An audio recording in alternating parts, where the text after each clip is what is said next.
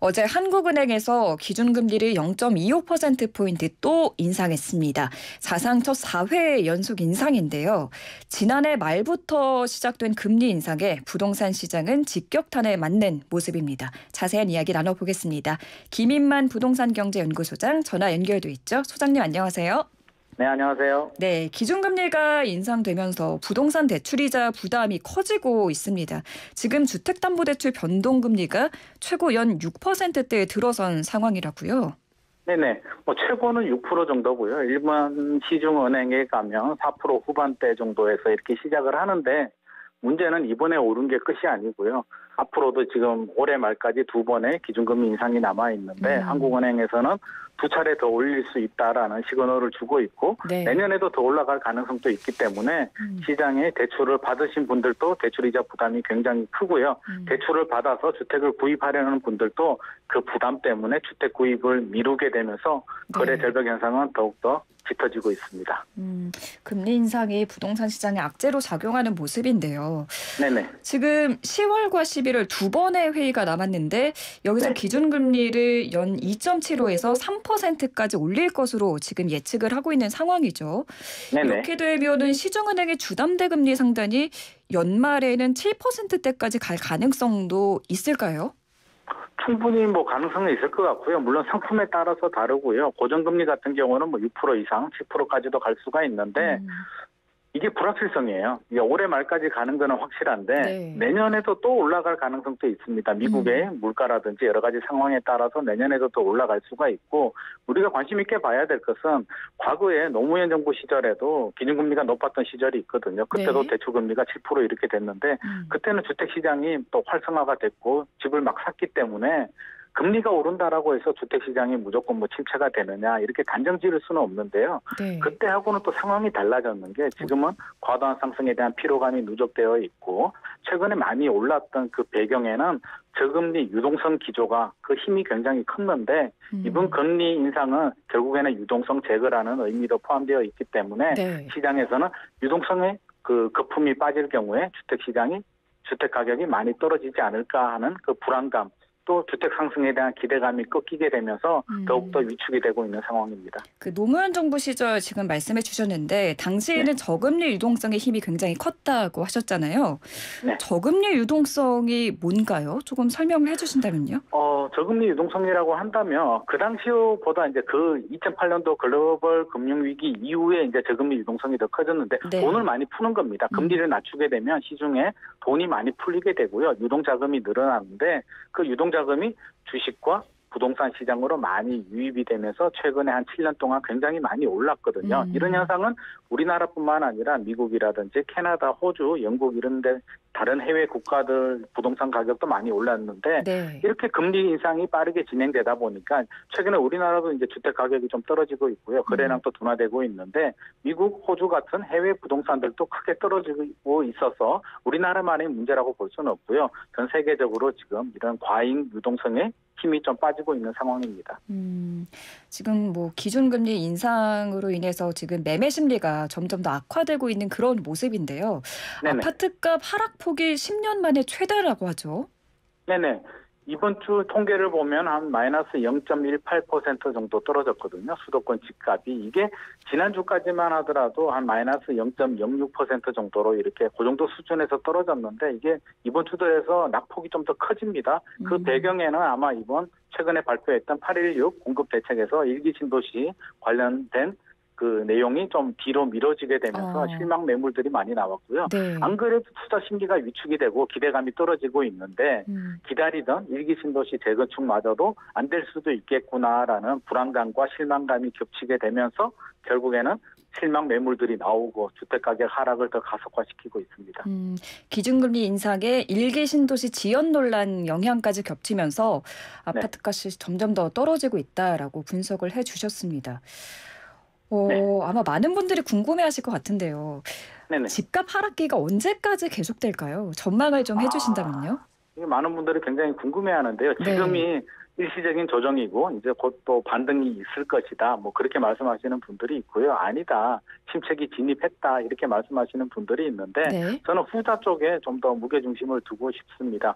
그 이유가 뭐냐면 이제 반등을 하려면 이제 바닥을 지나가야 되는데 우리가 바닥에 시그널이 있거든요. 바닥에 시그널이 뭐냐면 어뭐 우리 작년까지만 하더라도 panic buying 현상이 있었잖아요. 불안해서 집을 막 사는 그런 현상이 있었다면 음. 집값이 침체가 돼서 바닥이 되려면 패, panic selling이라고 이제 투매를 막 하는 현상이 생겨야 되고요. 네. 최근에 한 두 배, 한 7년, 8년 동안 두 배 이상 집값이 올랐다면 하락할 때에는 한 3년에 걸쳐서 30% 정도 조정이 되고요. 그렇게 음. 조정이 되는 시기에는 주택 시장이 안 좋으니까 정부에서 규제를 풀거든요. 그래서 규제 지역들 해제를 하고 음. 이런 현상들이 발생하는데 네. 최근에 보면 가격 하락폭이 그렇게 크지도 않았고요. 거래는 절벽이지만 가격은 가격은 한 5% 많아야 10% 정도 지역별로 편차는 있겠지만 음. 그 정도 조정이 됐기 때문에 또 뭐 그렇게 패닉 셀링 현상도 발생하지 않고 음. 그렇게 현상을 본다면 과거에도 한 3년 정도 걸렸거든요. 서울은 네. 3년 정도, 수도권 외곽 지역들은 5년 정도에 걸쳐서 침체가 진행이 됐기 때문에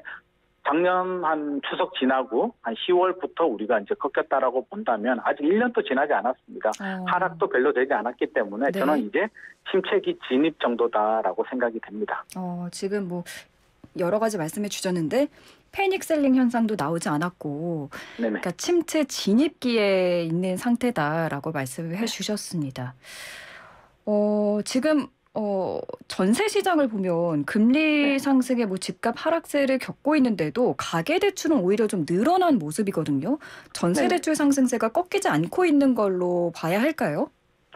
전세 가격은 최근에 좀 안정되는 흐름을 보이고 있는데요. 어, 사실 우리가 8월 달부터 뭐 전세 대란이 생길 것이다 이런 이야기를 많이 했는데 음. 전세 가격이 생각보다 많이 오르고는 있지 않지만 월세로 전환 속도가 빨랐고요. 그래도 전세금을 올려주려면 대출을 받는 분들이 있기 때문에 사실 대출이 이렇게 줄어들기는 어렵습니다. 이게 음. 주택 공급도 뭐 많이 되지는 않는다라고 하지만 결국에는 주택 공급도 늘어나고 있고요. 대출도 받는 분들이 있기 때문에 대출이 줄어들기는 좀 어렵다. 결국에는 금리도 올라가게 되고 대출도 늘어나고 월세 전환 속도도 빨라지고 음. 월세도 많이 올라가기 때문에 우리 서민들의 부담은 더 커지는 것 같습니다. 음, 그래서 이제 지금은 정부에서도 좀 세입자들의 부담을 줄여주기 위해서 전세 대출을 늘려주는 좀 그런 방향으로 선회한 모습인데 어떻게 보시나요?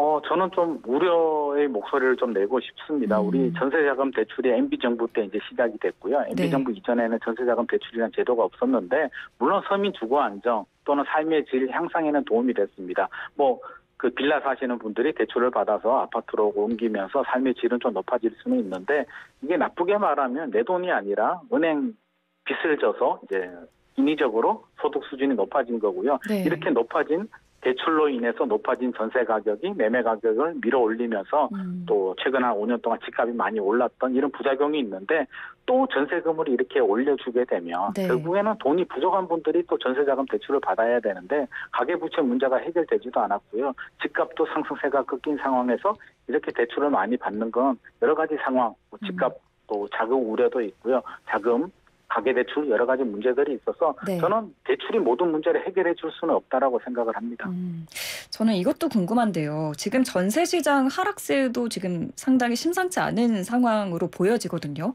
네네. 올해 8월 전세 대란이 일어날 것이다 이런 우려가 있었는데 지금 보면 오히려 집주인들이 세입자를 찾아 나서는 모습이에요. 네네. 앞으로 전세값이 더 떨어질까요?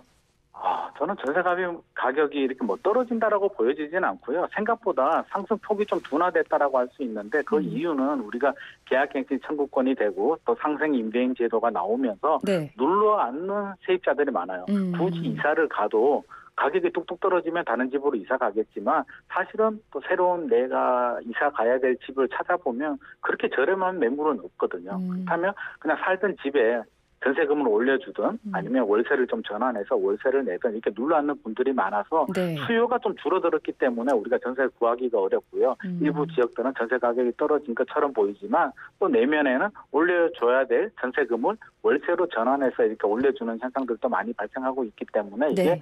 임대차 시장 안정이다. 전세 가격이 떨어져서 이제 서민들 또 세입자들의 삶이 좀 더 나아질 것이다. 이렇게 보지는 않습니다. 음, 그렇군요.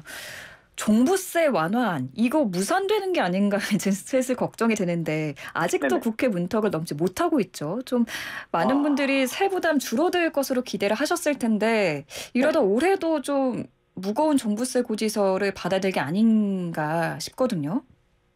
지금 상황을 보면 그럴 가능성이 점점 점점 커지고 있는 것 같습니다. 종합부동산세 고지가 이제 12월 달에 고지서가 나오고요. 사실 9월 달에 어떤 상황이 확정이 돼야만 이게 정리를 해서 종합부동산세 인하된 효과를 볼 수가 있는데 국회는 문턱을 여전히 넘지 못하고 있고요. 네. 국회 내부에서 그렇게 활발하게 뭐 논의를 하고 있는 것 같지도 않습니다. 그래서 음, 1주택자들에 대해서는 뭐 부담을 좀 음. 이렇게 늘려주게 줄여주겠다라는 대책들이 여러 가지 대책들이 나왔는데 결국에는 좀 힘들지 않을까 그게 또 공유 내년으로 넘어가지 않을까 싶어서 네. 진짜 1주택자들은 이게 투기를 한 건 아니잖아요. 그래서 그렇죠. 세 부담을 좀 낮춰줘야 될 필요는 있는데 음. 지금 상황을 보면 작년과 비슷한 수준의 종합부동산세를 내야 될 가능성도 있다. 그 가능성도 배제할 수 없다라고 제가 말씀드리고 싶습니다. 아이고 참 안타깝네요.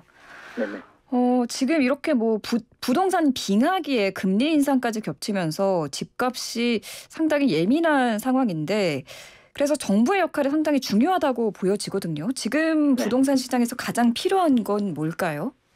일단은 금리 인상의 불확실성은 좀 제거가 돼야 될 것 같습니다. 지금 가장 불안한 게 이 금리 인상이 올해 말까지 될 것인가, 내년에도 될 것인가에 대한 그 불확실성이 너무 크기 때문에 실제로 집을 사야 되는 실수요자들도 계산기를 두들길 수가 없습니다. 왜?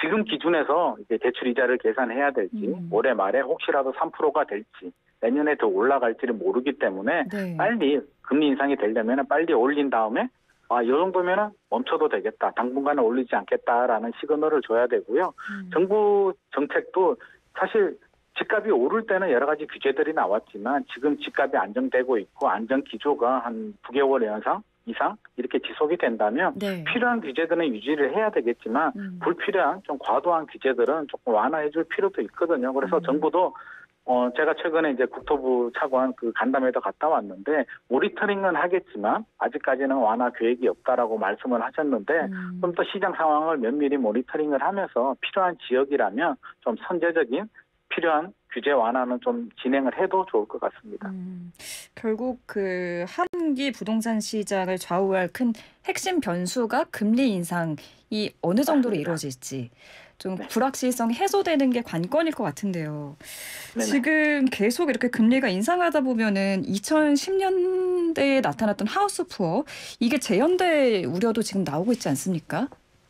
지금 그럴 가능성이 지금 굉장히 커지고 있습니다. 이 음. 금리도 올라가고요. 이 금리가 설사 금리 인상이 멈춘다고 하더라도 네. 금리가 다시 내려가려면 시간이 또 상당 기간 또 필요하거든요. 음. 그래서 무리하게 특히 작년, 재작년에 이제 panic buying을 하면서 무리하게 대출을 받아서 힘들게 내 집 마련하신 분들이 그 굉장히 취약한 상태에 머무를 수도 있기 때문에 저는 네. 충분히 가능성이 있을 것 같고요. 물론 자금 여력이 되거나 좀 상환 능력이 되고 버틸 수 있는 분들이야 또 버틸 수 있겠지만 음. 우리가 걱정되는 게 대출 이자는 오르는데 집값은 오히려 떨어지는 상황. 두 가지 dead cross가 이렇게 만나게 되면 그 심리적인 밸런스가 붕괴가 되면서 또 투매 현상이 발생할 수도 있기 때문에 네. 이런 실수요자들을 보호하기 위해서라도 하루빨리 불확실성은 좀 제거가 되어야 될 것 같습니다. 음, 지금 집 을 좀 사야 하는가 고민하는 분들도 있을 것 같거든요. 네네. 앞에서 뭐 집값 하락세는 더 이어질 것이다라고 전망을 해주시긴 했는데 그러면 지금 시점에서는 집을 좀 사는 것은 좀 비추하실까요? 이게 많은 분들이 또 그렇게 생각을 하죠. 아, 집값 오르지도 않는데 음. 작년까지 막 사고 싶었던 또 살 계획이 있었던 분들도 지금 주춤주춤 하면서 이렇게 관망을 하고 있는데요. 네네. 저는 그렇게 생각합니다. 필요한 실수요자라면 자금 여력이 되고 애들 교육이나 학군 또는 부모님 봉양 이런 여러 가지 필요한 이유에 의해서 내 집 마련을 필요하다고 생각하신 분들은 네. 내집 마련한 다음에 열심히 살다 보면 또 장기적으로 우상향할 수도 있고요. 음. 이게 열심히 계산을 해도 그 미- 미래 부동산 시장 상황이 우리 예상과 또 다르게 움직일 수도 있고 막상 집값이 떨어지게 되면 또 떨어져서 두려워가지고 또 내 집 마련을 계속 미루기 때문에 음, 네네. 저는 필요한 분들이라면 하셔도 되는데 단 작년이나 재작년처럼 불안한 마음에 당장 필요는 없는데 무리한 대출을 받아서 뭐 조급한 마음에 이렇게 무리한 내 집 마련, 주택 구입을 하려는 분들은 지금은 그럴 필요가 없겠다. 앞으로 음. 상기 신도시 물량들도 나오고요. 여러 가지 기회들이 생길 수도 있기 때문에 무리하게 내 집 마련할 필요는 없는데 필요한 실수요자라면 내 집 마련한 다음에 또 열심히 잘 살다 보면 또 집값이 다시 또 오를 수도 있으니까 네. 그렇게 좀 필요에 의해서 이렇게 판단을 하시는 게 좋을 것 같습니다. 음, 자금의 여유가 있으신 분들, 실수요자분들은 지금 집을 사셔도 좋지만 무리해서 살 필요는 없다라고 네네. 말씀을 해주셨습니다. 오늘 말씀 여기까지 드릴게요. 감사합니다. 감사합니다. 네, 지금까지 김인만 부동산 경제연구소장과 함께했습니다.